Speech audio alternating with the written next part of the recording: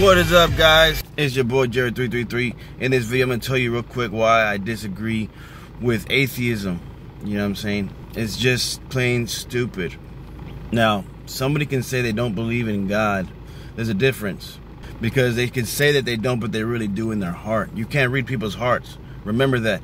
Don't agree with what everybody says. They may be feeling or actually want something else than what they're saying. Anyways, to all you atheists out there, you are a walking, talking spirit with a body. You yourself are proof of a greater entity of God's existence. You are a piece of God, but you just don't know that. Because forever, for whatever reason, you're mad at God for something that happened to you in the past, or because you, you know, you just don't want to believe so you could do evil and wrong things every day in your life.